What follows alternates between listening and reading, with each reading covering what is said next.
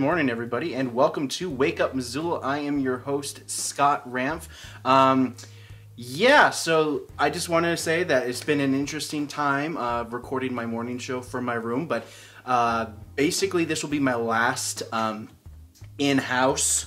Um, recording of Wake Up Missoula. So hopefully I'll be uh, doing most of my recording inside the studio uh, at the new location inside the library. So a little bit of uh, uh news. Actually, there's actually mostly olds as uh, the city uh, as MCAT looks to open on May 3rd, along with the new uh, Missoula County Library. So you guys can check that out. It's from 9 to about noon. Mostly this is just for people to kind of walk in, wander around. If they need to look at some stuff, they can.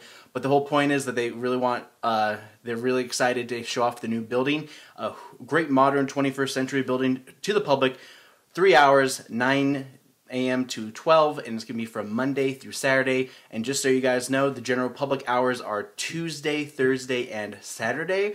And then uh, sensitive groups and folks who are of a certain age can uh, enjoy. Um, oh, seniors can enjoy uh, Monday, Wednesday, and Friday without fear of contracting COVID. So that's kind of what's happening there. Uh, make sure you wear your mask in there, and that's kind of what's happening with the library. Let's talk about the census.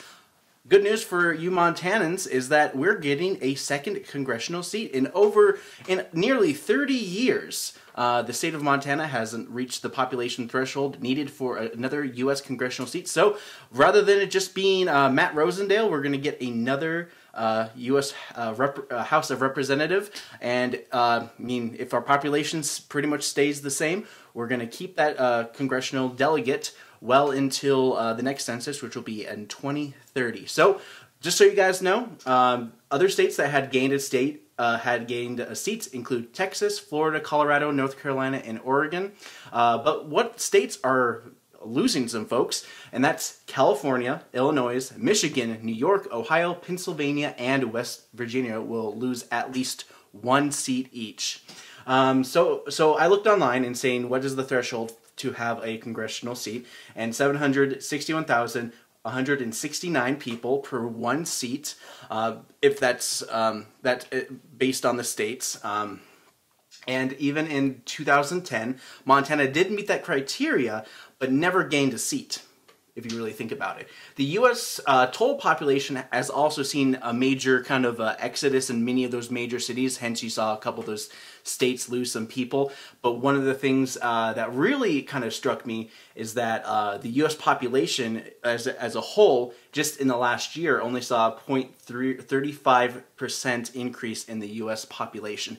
Not many people are making babies, and uh, that's kind of what's happened in the last uh, year or so, but this was all based on the 2020 uh, U.S. Census, and they usually take some time to get there. So, uh, just so you guys know, uh, the state of Montana will be holding the election for this uh, vacant open election for the U.S. congressional seat in um, November of 2022, and so we have another two years to uh, uh, build up a candidate on either side. All right, Joe Biden looks to put up to $80 billion invested into the IRS to go after rich tax evaders. Uh, IRS has been funded enough to tackle other folks um, based on the money. A lot of times uh, they say that for every uh, $1 uh, the IRS spends on making sure people pay taxes, $7 come back to them. So that's just something that um, Joe Biden looks is to try to crack down on people exploiting loopholes and avoiding taxes. Um, income tax has been on the rise, and uh, and we've seen um, with the Reagan administration a lot of stuff you probably heard, like with the deficit growing mostly based on the corporate tax cuts. Um, so far, uh, from what I remember, uh, George W. Bush uh, did a, uh, corporate tax cut as low as 7% of corporate taxes.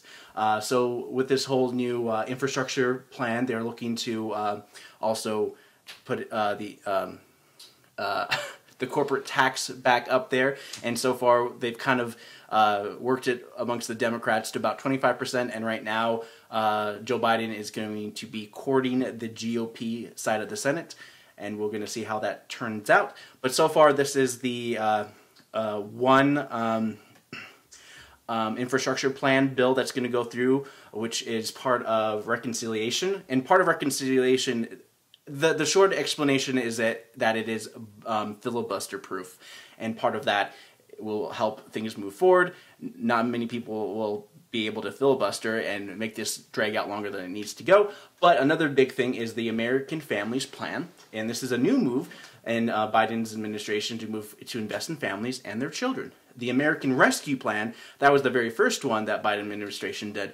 The Dems um, and Kamala Harris had to break the tie vote with 51 to the 50 votes for against it. Um, so th- that part of the American uh, Rescue Plan was that they would provide $300, dollars for low income families, uh, $300 per kid for low income families for a little over a year, and we're going to see how this goes. But part of the uh, the new plan, this one right that he's working on, is uh, the Amer- American Families Plan, is to kind of extend it and also add to it moving forward. So there's a lot going on there's just a lot, but also really sad news this week. Imagine you're the first crew to land on the moon, but one person had to stay behind. Michael Collins was that man. Uh, when people think of uh, who was the first man on the moon, Neil Armstrong. What about the second? Oh, Neil Armstrong, Buzz Aldrin. But everyone usually forgets about Michael Collins. Michael Collins, he died earlier this week at age 90, along with Buzz Aldrin and Neil Armstrong, made history only in a less prestigious way. He was dubbed the loneliest man in history, orbiting the moon and being cut off from his crew as he circled around the dark side of the moon. Mike Collins battled cancer and died with family peacefully. Buzz Aldrin is now the only member of the space crew still alive at 91. Come back to Earth and the world will start to open up again just to have it shut. We're talking about India, folks. India is dealing with a major uh, surplus of COVID infections. Um, they started off um, lockdown. Everyone was doing good. The numbers were really low. But as soon as uh, India started to be like, okay, I think it's about time we start opening up. Uh, one of the things is that Prime Minister Narendra Modi held a rally as India recorded uh, held a rally with more than uh, a million people, uh, and uh, the Prime Minister uh, said that he held an election rally in the West Bengal town of Asanasol, sorry if I'm mispronouncing that, and tweeted, I've never seen such huge crowds. And part of that um, recorded more than 234,000 cases of COVID just last Saturday, and with more than 360 confirmed cases of COVID, making it the single, the, uh, the largest single day uh, confirmed cases. So 360,000 people uh, infected in a day. Think about that. Of course, without getting into too much of the uh, the government, uh, basically just kind of opening Pandora's box just slightly open. Uh, we're talking a little bit more about uh, what's happening, um, because the, some of the consequences of having such a large number of people contracting COVID is that with the country that is already packed with uh, 1.366 billion people, it's hard to throw a rock in that country and not hit somebody. So far, the country is locked down again, and hospitals are struggling to get aid to sick people. U.S. officials have said vow to uh, throw support to India, uh, to the Indian nation, as President Biden vows to help, and U.S. Surgeon General Vivek Murthy announced a plan to share America's stock of AstraZeneca COVID 19 vaccines with the world. Uh, hold on, my hair is getting all messed up. uh, in Montana, uh, one of the, one of the th- many things that happened is that through the bills and a lot of stuff going on here as well is that the masks. Um, we're talking more about Missoula, and a lot. Of course, I talked about this last week, and one of the big things is that the Missoula City County Health Department is looking to uh, change the wording from uh, mandatory to recommendations. So a lot of businesses have the uh, the the right to uh, not have to wear, not to uh, expect patrons to wear masks in their facilities. Um, a lot of businesses I've talked to are going to continue that tradition until it's uh, things get a lot better. But so far, the city county health department is confident that uh, with uh, sixty percent of people had uh, their have been first dose vaccinated, which means like if you've been vaccinated at least once with the Pfizer or Moderna, you consider part of the six the potential 60% of Missoula County that will be moving forward with this new plan, which seems like it's going pretty well because last time I checked it was about 57% uh, as of kind of this week. So we'll, we'll kind of, it looks like everything's going to go well, but you know, India is a very big cautionary tale just in terms of like community. So, yeah, there's definitely a lot going on here as well. But up next, I'm giving you the taste of the uh, Zach social distancing sessions. And like the end of an era, uh, the social distancing sessions, this is the end of the social distancing, distancing sessions as of last Saturday. And here is a punk rock karaoke night featuring the band VTO.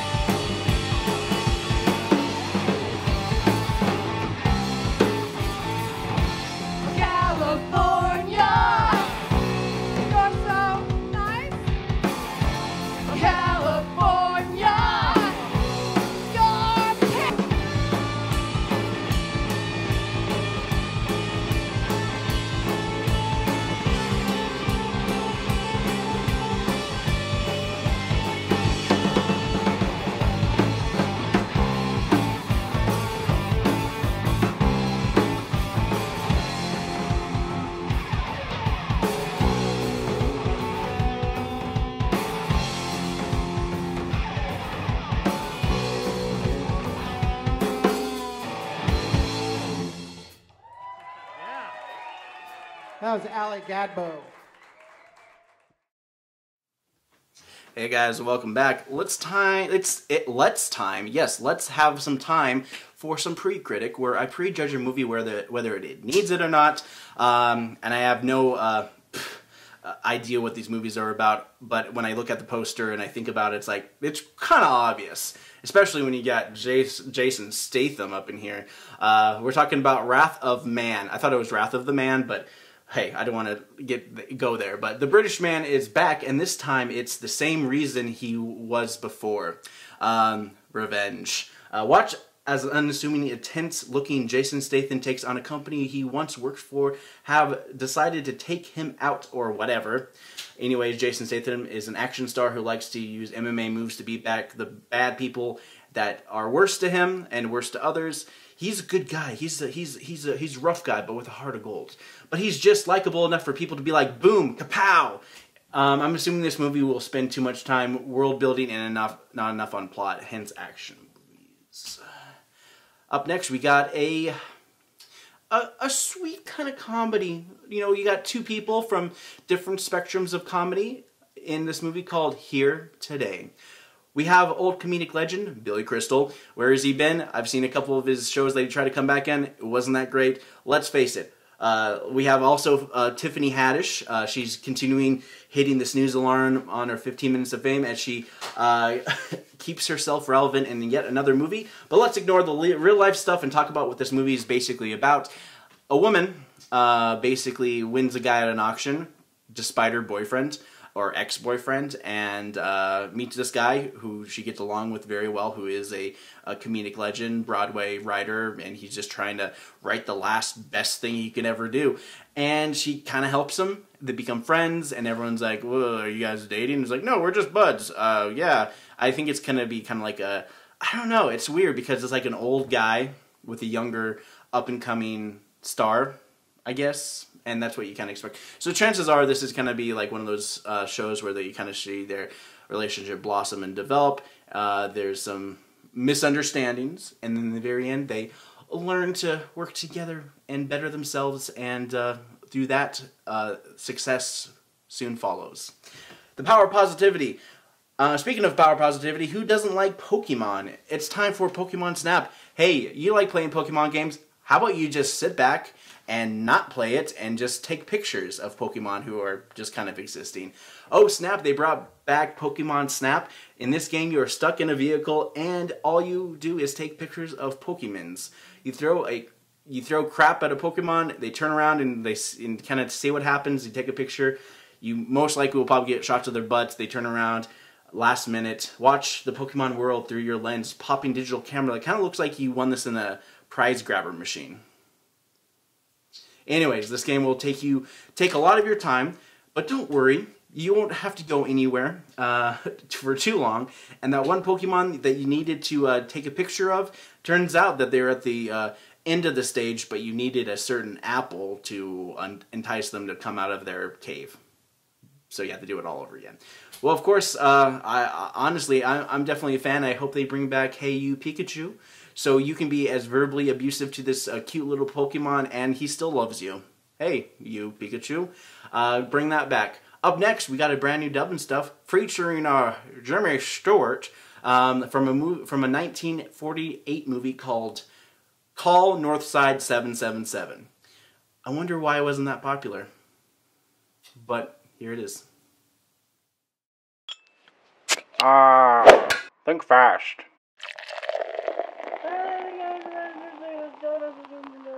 Uh huh. Ah.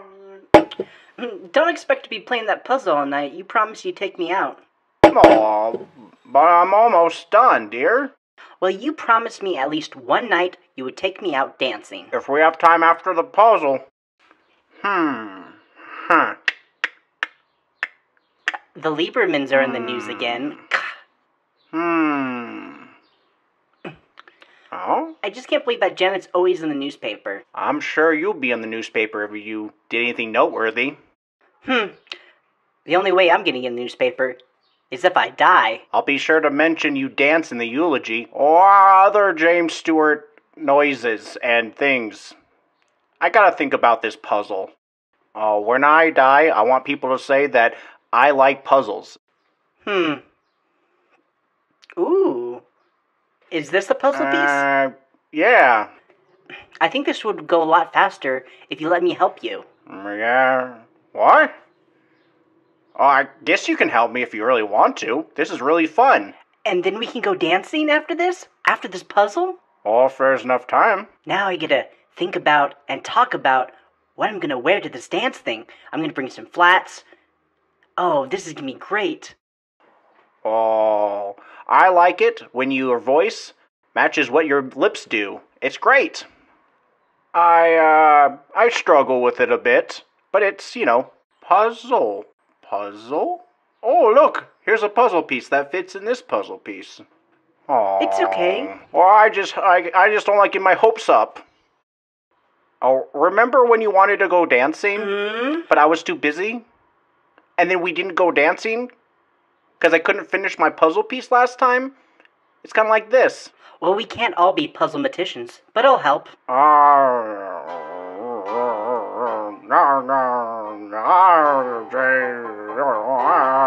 Uh,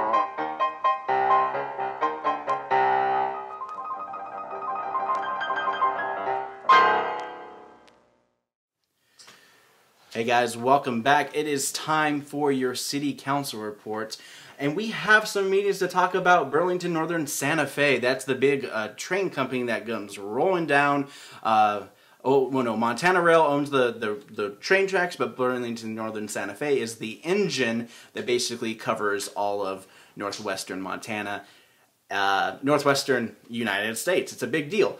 But like many other places in northwestern United States, and, and um, one of the things is like once a, a corporation or a company that leaves um, an industrial site, a lot of times they don't clean it up, and which and hence they call them brown sites.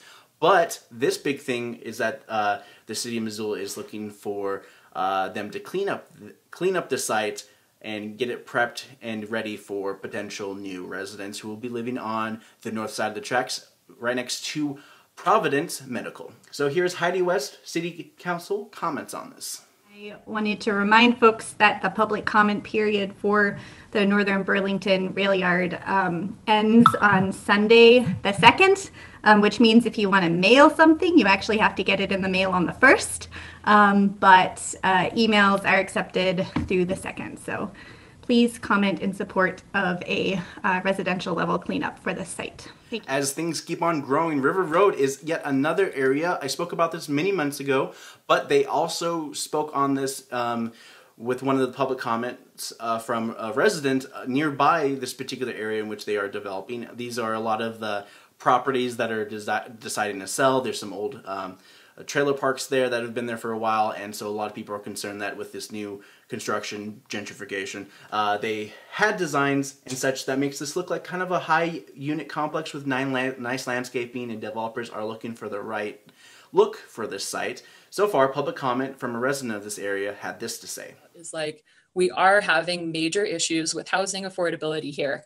and to continue this policy that has been in place my entire adult life of like not giving true voice to the neighborhoods letting developers run wild like this rezoning is not helping that like just referring to the growth policy not individually looking at it at the point of not even having the maps correct is doing a disservice uh, to our neighborhood um, I could not get a name from this person, but LUP will talk more about this and such. And so far, no action was taken. This is on uh, during a public hearing, uh, so this item is up for referral, and it will be talked more about in May. Um, so they have three pro- proclamations. I'm not going to show you the clip of them reading the proclamations, but I'm just going to uh, say it. But so this is Volunteer Recognition Week. So we got uh, so a lot of uh, Missoulians uh, do a lot of volunteer work, and one of the big things that just happened recently was that big cleanup off of the reserve encampment.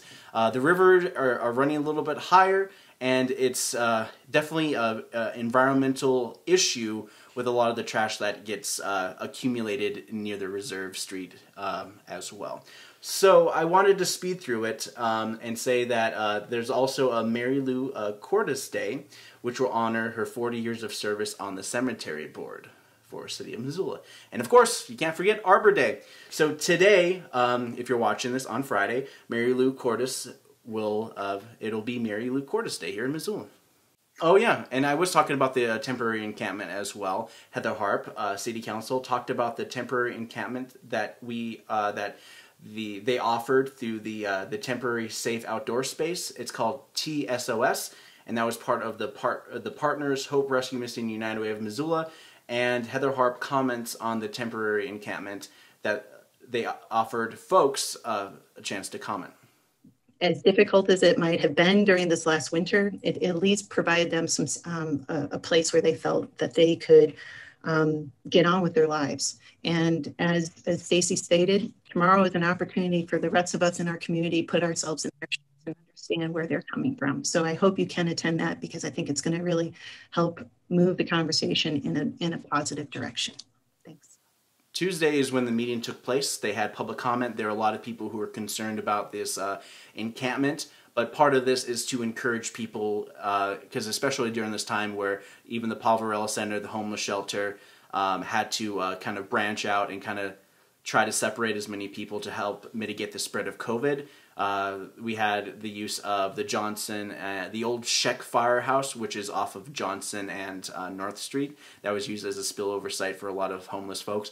But also, there are uh, some folks who are even more concerned about um, catching COVID, and a lot of people who are homeless don't have a tendency to have access to medical.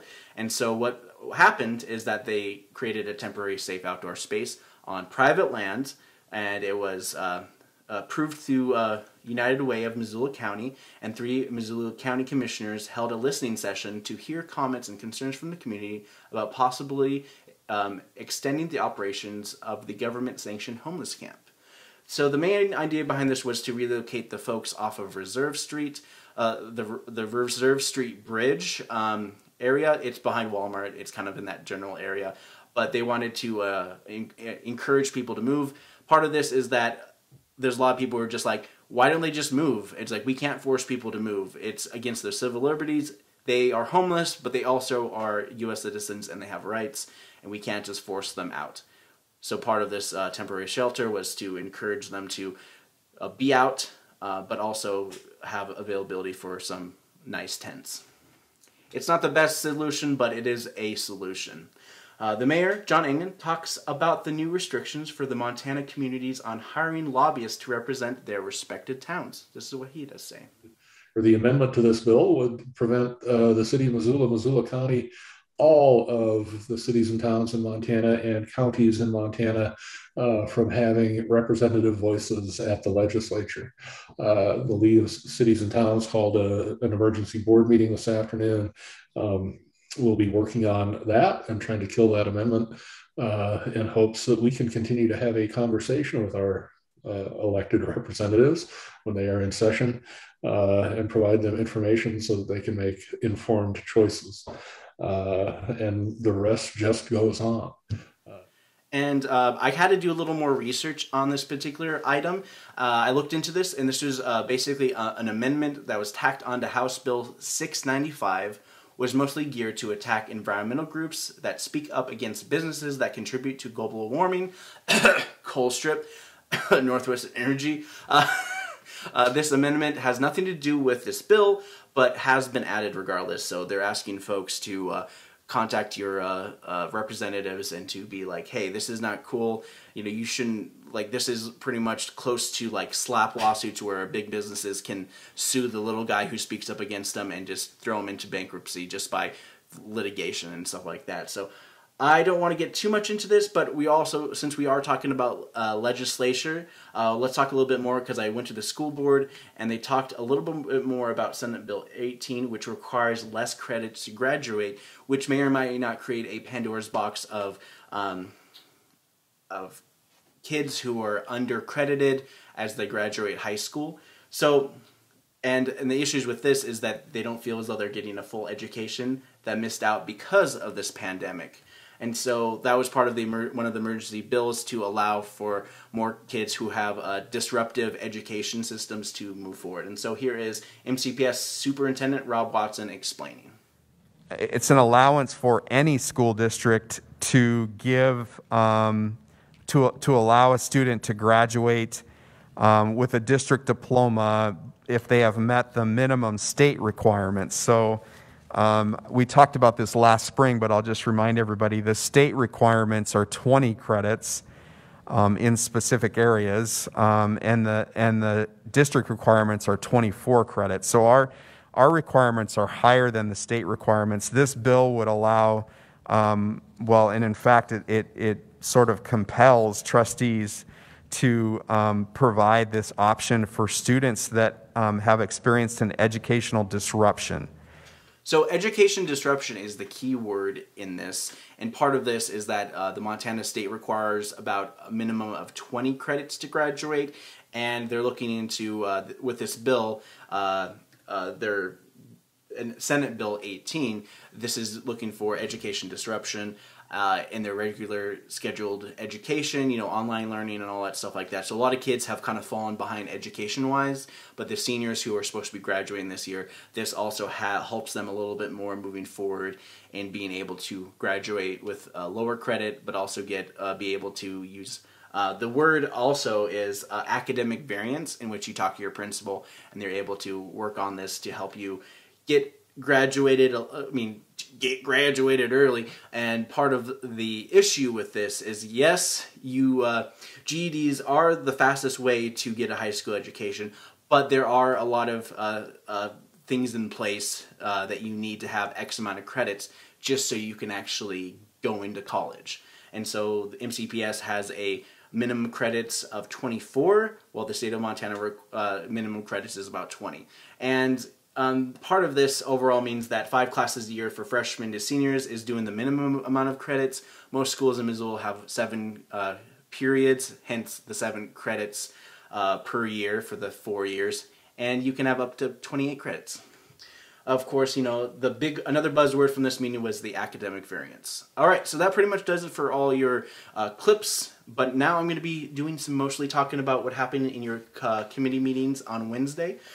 Public Works, uh, they're looking to uh, look at, um, actually this is kind of a big deal because uh, Public Works is really looking to uh, figure out a new standard into uh, uh, in a neighborhood traffic management program. And part of this is to kind of use education, use the ability of complaints, and work on intersections in smaller um, impacted neighborhoods and try to help mitigate uh, speed of traffic and the amount of traffic that's going to be coming through here because we are in an ever-growing city of Missoula and with every person there's a car and uh, it feels like for every person in montana especially it's a car and a half per person. Uh, so far the biggest push for missoula was to create a bike friendly town encourage less motorized vehicles. Also they are not really adding any more parking to a lot of these uh, new uh, cre- new structures and buildings and stuff like that so there's also that. I mean, I, I've definitely noticed with a lot of new um, buildings that are popping up in Missoula that they're not really adhering too much to parking, but they are also trying to encourage, you know, more growth inward as a result. So this was all informational, and they're not moving forward on anything, and they're gathering information. You can contact, email Ben Weiss and those folks at the TPCC, which is the uh, Transportation Policy Coordin- Coordinating Committee, and you can look that up on their website, which I'll tell you in a bit. But yeah, put some input. If you have any problems in, in your neighborhood where you need to help mitigate speed, this is, these are the folks you want to talk to within the city government. Public safety and health, I mean, it kind of feels like we just talked about public safety and health, but this is a big deal because we're having election for municipal judges. And what does that mean to you? Just so you guys know, the city of Missoula has been appointing judges for municipal courts, and these are the kind of judges you see if you get like a ticket from a city police officer, or you know, like uh, something happens and you have to show up to uh, a small court, and this is uh, municipal court, you know, just you know, doing that kind of stuff. And part of this is that the state of Montana passed a Senate Bill 127, and during the current Montana legislature, and part of this basically requires that all communities in the state of Montana now hold elections to uh, have municipal judges. So the uh, interview process is completely gone, and anybody who uh, jumps on the election can be elected as a municipal judge within a community in the state of Montana. So the city of Missoula is looking through these many challenges, and they're looking and and they are just getting started. If you want to get started with local government, see what I did there, uh, you can go to ci.missoula.mt.us. Agendas, webcasts, and minutes, those are your references to everything you need to know about the city of Missoula. All right, so that about does it for my morning show. I did want to say that we are now uh, opening the doors for more summer camps. We are offering up to five kids. Yes, only five kids. Social distancing, trying to be safe new library, regulations, all sorts of things. But we're doing uh, summer camps. We're doing two stop animation summer camps and one horror camp. And all these camps are from 1 to 5 p.m., short days, and we have a um, maximum ceiling of five kids. So we're going to be uh, contacting some parents and some old uh, campers and campers and stuff like that. But if you are interested, you can go to the MCAT's website you uh, pull out the tab How Do I, and you can find the summer camp programs and you can sign up there as well. So we finally got approval just uh, about a week or so ago. So it's exciting to be doing another summer camp. Uh, once again, as we had to cancel our spring camp because uh, the spring camp happened just as everyone shut down for COVID. So it's been well over a year since we uh, interacted uh, with any of the youths of Missoula to help encourage media and stuff like that. But if you are interested in learning more about MCAT and more, like always, you can go to MCAT.org. We are open to the public and we will offer uh, assistance and training in media equipment. Um, we're hosting an orientation on Saturday uh, that's going to be happening on May 8th. Is it 8th? Whatever. Hey, the first Saturday in May. I'll, I'll just pop it up right here so you can see what the date is. Hmm, that's the date. All right. so without further ado, I'm done with my show, uh, and it's pretty much gonna be done. Um, oh man, my hair's done, and also, uh, yeah, I'm pretty much done filming inside my home, and I'll be filming more from the studio um, at MCAT. So it's been an interesting time, and uh, for Wake Up Missoula, I'm Scott Ranf.